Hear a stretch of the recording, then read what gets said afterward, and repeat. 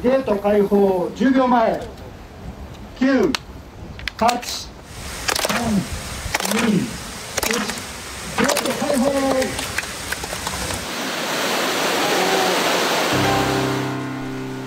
今年の8月25日は大河津分水の100歳の誕生日。燕市では100周年を記念した式典が開かれ当時の通水の瞬間を再現しようと席を開放しましたもっとこう知ってほしいもっとね新潟県の人で知らない方もいらっしゃるんだと思うけどとても大事なとこなんでもっと知ってほしい。大河津分水は日本一の水量を誇る信濃川の水を燕市から日本海へと分けて流す人工の河川です大河津分水ができるまでの越後平野は数年に一度信濃川の氾濫に襲われる地域でした。こちらは明治時代の1896年。現在の燕市で信濃川の堤防が決壊した水害横田切れを描いたものです。濁流が家屋を押し流し多くの人が亡くなりました。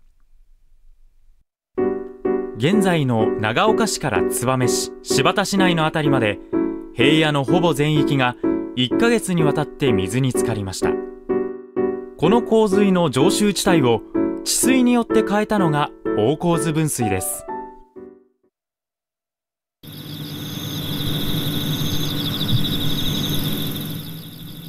分水路は治水だけでなく多くの恩恵ももたらしました。その一つが米作りです。まだ青いですね。この根元のところがやっぱり青いとダメなんですよね。もうちょっとですね。田んぼで稲の成長具合を確かめているのは27代続く燕市の農家日浦幸彦さんです。3月からずっと準備をして作業を続けてきて土表をもらうみたいなもんですね。黄金色に色づいた穂がなびく風景も100年前は違ったようです。すぐそこあの西川が流れていてもうすぐ川のすぐそこなんですよね。なので多分3年に一度は水害があったっていうふうに聞いてるので昔ここは果樹が植えてあって。100年前の越後平野は水はけが悪く、このように腰まで水に浸かりながら稲を植える深田ばかり。米の味も鳥さえまたいで食べない鳥またぎ米と言われるほどでした。しかし、大河津分水によって水はけが劇的に改善。現在の関田に生まれ変わりました。県内で一番米が取れない土地だったっていうふうに書いてあってそれが近年は県内で一番の収穫量を誇るところまで行ってるんですよねそれもやっぱりあの分水路の治水があって芳醇な土地に生まれ変わったんですよね大河津分水が通水してから大穀倉地帯へと生まれ変わった土地の魅力を食で発信しようと燕市の農家や商工業者で地酒も開発。日浦さんは酒米作りにも挑戦しています。分水路もこれまでと同じように氾濫しないように、まあ、水を収めてくれる役割っていうものを多分続けてくれると思うんですよね。だから僕らは、うんと、この土地で、えー、今までと同じように一面の水田畑というかねものを続けていきたいなと。100年前に行われた工事は当時としては類を見ない大掛かりなものでした。東洋一の大工事。最新鋭の土木技術や機械も導入されたことからこう呼ばれています。完成から100年が経ち大河津分水では激甚化している自然災害に備えようと河口部を広げるなど大規模な改修工事が進められています。その名も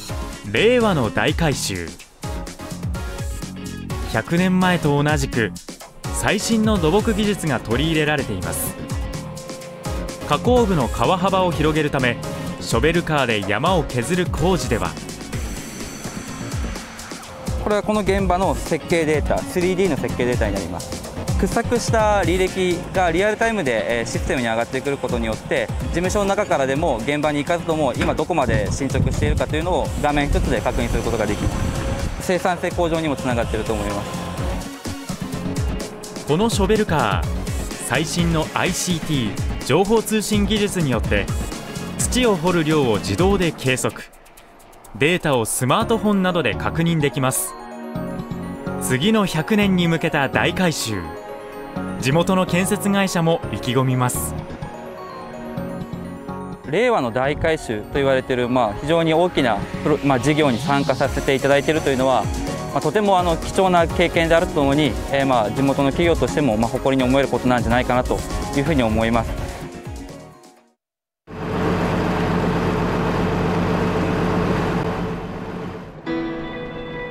船に乗って到着したのは河口部で川底を掘削するための作業船です。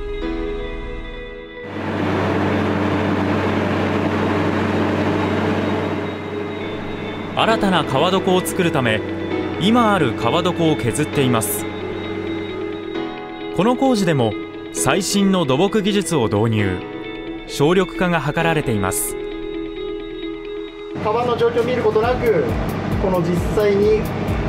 川を透かして高いところだけを狙って掘ることができるのでこれで低いところは掘らないので無駄掘りがなく効率よく作業することができます。国土交通省によると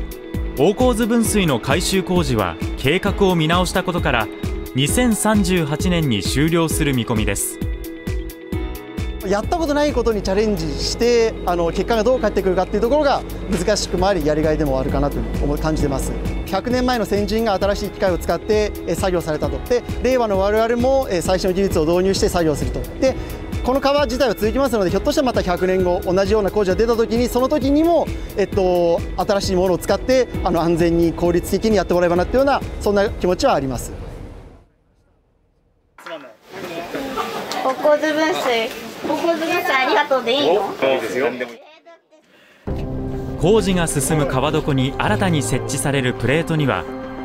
地元自治体のトップや子どもたちが分水への思いや感謝を込めた言葉を書き込みました。燕市の鈴木勉市長が書き込んだのは「大河飛燕」込めた思いとは。大骨分水のおかげでこの越後平野が洪水から守られそうした大洪津分水の存在役割に心より感謝をするとともにその存在意義役割というものをしっかりと未来に引き継げるようにずっと語り継いでいく。大洪津分水は100年の間越後平野を水害から守ると同時に日本有数の米どころに変えました。令和の時代。そして次の100年も新潟を静かに守り続けます。